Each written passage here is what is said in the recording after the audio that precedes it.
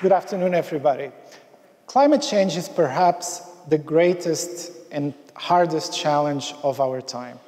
Now, we are very lucky to live here in this vibrant metropolitan area, but I want us to take a minute and ask, what are we doing to the environment?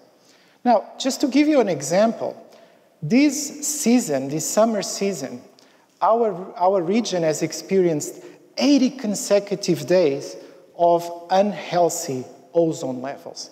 This is happening partly because temperatures are rising and heat waves. And in fact, if we don't do anything about climate change, the damages in our region would get even stronger, and it would take the form of droughts, wildfires, and further deterioration of air quality. So what we want to do today is to have a conversation with you about how us, as, as, as University of Southern California, can come together and develop sustainability solutions so that we have a better future here in our region and around the world. Now, we are here also to celebrate our new president, a champion for sustainability, and to mark that, we are announcing the launching of the USC Center for Sustainability Solutions. We are obviously very excited about the center, and the center is going to start by working on four main areas with the ultimate goal of advancing the Sustainable Development Goals, the United Nations Sustainable Development Goals. Now, it is important to note that climate change cuts across all these thematic areas, from sustainable transportation to sustainable cities. And this is precisely why Mahta and I believe it's time for us to break our traditional university silos and come together. These challenges are so hard for a single discipline, a school, or a college to tackle them. So our mission is really to come together and develop the future sustainability solutions that assure that future generations would have the same quality of life or better than what we have today. To continue our conversation, what we are going to do is we are going to talk about the technologies that are available. Think of them as potential solutions to some of these crises. And then in the second part of the talk, I would return to talk about public policy solutions that may allow us to fasten the adoption of those technologies into the economy. These are indeed tough problems, but we can provide solutions. Our unique value proposition in the USC Center for Sustainability Solutions is indeed to provide technological solutions in lockstep with those of public policy. So from a global perspective, we take remote sensing technologies, for example, to, to develop a dynamic knowledge base of our planet and how things are changing. We work with federal agencies, international agencies, industry, and various academic institutions to uh, launch satellites. Uh, we work with them to come up with uh, quantities such as sea surface salinity or soil moisture. These are not just academic exercises. These are actual key pieces of information that go into global climate models. So we use our technologies to understand, to predict, and ultimately to adapt to global climate change uh, issues. So for example, we use our perspective from air or space, our microwave remote sensing technologies, to look at how the vulnerable Arctic regions are changing. We look at permafrost and how it's changing due to the warming trends. This is important because it allows the local stakeholders to use this information and to come up with adaptation strategies for these very vulnerable local communities. Their houses are sinking, uh, the infrastructure is suffering, so they, they need information in order to, to adapt. We can also come up with information about land cover, land use change, or urban infrastructure, or uh, about air quality. Now, we don't just take the top-down approach from space to ground, but we also take the bottom-up approach. We roll our sleeves up, we go in the field, we deploy uh, sensors. We are at the cutting edge of uh, wireless sensor network technologies here at USC. We deploy them on the ground, we, we can deploy them, we're look, working on deploying them from networks of UAVs, and we use all these kinds of different data to inform local solutions, which we hope to scale up to uh, global. For example, let's take an example of the smart building of the future. We take information from satellite remote sensing to know what's going on outside of the building. We take information from sensor networks from inside the building to see who's in there, how they're moving, what time of day it is. And together, this smart building comes up with a solution for how it's going to control its climate on an uh, hour-to-hour basis, on a daily basis, or on a seasonal basis. And uh, also another example is the case of informing uh, the behavior of a smart grid. So imagine in your neighborhood, you get information from satellite remote sensing in terms of what's happening uh, in the air, in the climate, and also you have sensor networks from inside the grid. And together in a scheme uh, based on a demand response, we optimize how the grid is uh, learning and uh, modifying its behavior. Yet another example is a smart paint. Imagine if your house or your car or the urban infrastructure had a smart paint on it, which could regulate the temperature based on the information it gets from the outside or from the inside, and it minimizes the wasteful uh, exchange of heat uh, between the inside and outside by keeping, uh, keeping that temperature at the surface at, at a constant level. And then we can talk about sustainable manufacturing, carbon capture and storage, autonomous vehicles, ultra-efficient electronics, sustainable water services, and a slew of other technologies that are currently being developed here, right here at USC. Bottom line is that we are prepared. We are already working in, on these technologies. There's so much more under development.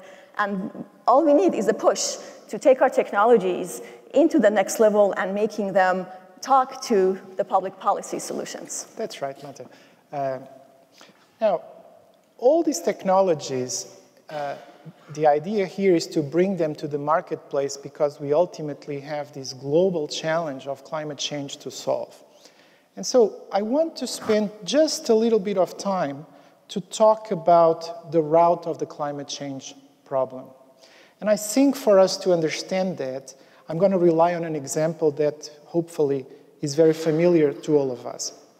Every morning, when we make our driving decisions, effectively, we are not accounting for the impacts that the emissions we generate cause in our communities. It's actually that simple. In other words, we pay for the private costs of driving, but we are actually not paying for the emissions we create. If instead we were able to put a price on carbon, presumably we would be sending to the agents in the economy a variety of incentives for them to adjust. For example, faced with a higher fuel price, drivers would start looking for more fuel efficient vehicles. Potentially, they would drive less, and eventually, they would transition towards public transit. So, in a nutshell, the source and the root of the climate change crisis is that for the most part, the prices of the transactions in the economy are fundamentally wrong.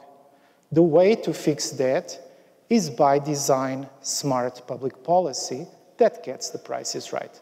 Let me repeat, what we need is to design smart public policy so that most of the damage that we are causing in the environment is priced the same way that the goods and services you, we consume. So now, at the Price School, my colleagues from public policy, public administration, urban planning have worked in many aspects of this issue and in fact have provided tremendous advances to knowledge over time. In addition, the Schwarzenegger Institute for State and and global policy has certainly been a key player for convening and advancing discussions that, that move us forward when we are in times of political gridlock. But in practice, what we are witnessing, and we are witnessing this week with the United Nations Climate Summit, is that we are not moving fast enough at the global level. So I am convinced that the solution to the climate crisis actually has to start at a national or a subnational level. We need to find a champion that will take the first move. So the question then is, under what conditions is it in the best interest of a country or a region to act on climate alone. Let's take the case of China.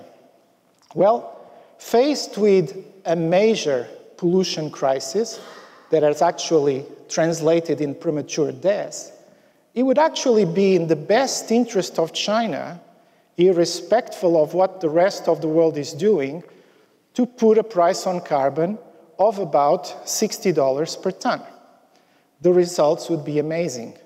Not only you would see a major reduction in coal, but from a perspective of well-being and public health, the result would be an increase in life expectancy of three years. Of course, the concern is that if China were to do this alone, would China be undermining its presence in the marketplace? And for the most part, what recent public, public policy research suggests is that if a country moves forward with carbon pricing, that country could also introduce a border carbon adjustment so that countries that have carbon pricing and countries that don't have carbon pricing are leveled out. So this is how we think we start creating sustainability solutions. All we need is a big country or a big region to be the first mover. That mover, by the way, is going to create a new paradigm for sustainable development that not only will be protecting the environment, but it will be foster green economic growth and potentially even promote social justice. Now, this picture starts with the US, and while perhaps the US government at this point is not ready to take leadership on climate, to put it mildly, California, and Southern California in particular, are ready. And in fact, what we are seeing from our local officials is a tremendous ambition. As an economist and as a, as a, as a public policy scholar, I believe the future of the green economy starts here in Los Angeles. And the Los Angeles New Green Deal, our county sustainability plan, and the, and the Olympics coming provide a platform for aspiration for our community and our state. What the Center for Sustainability Solutions responsibility is, is to deliver the public policy and technology solutions that will actually make these plans move from aspiration to reality. That is our mission. Now, of course, our mission as educators also start by preparing the next generation of individuals that are entering the workforce. And so to this end, Los Angeles is also the best place to start these activities because by bringing our students to our regulatory agencies, to the Los Angeles Clean Incubator, and to many others throughout the region, we will develop the most creative sustainability grand challenges scholars program that I think we've ever seen. Now, creating sustainability solutions doesn't start at age 18. It actually starts as a child. So it is our obligation also to figure out ways to better educate the educators so that the children get used to the idea that these are the challenges of their lives. And if they don't take anything about it, that there would be uh, probably not such a bright future down the road. And we are using, in partnership with the School of Education, the Olympics as an opportunity to develop an education program around the Sustainable Development Goals. Now, our university is global, and so are the sustainability challenges that we are trying to solve.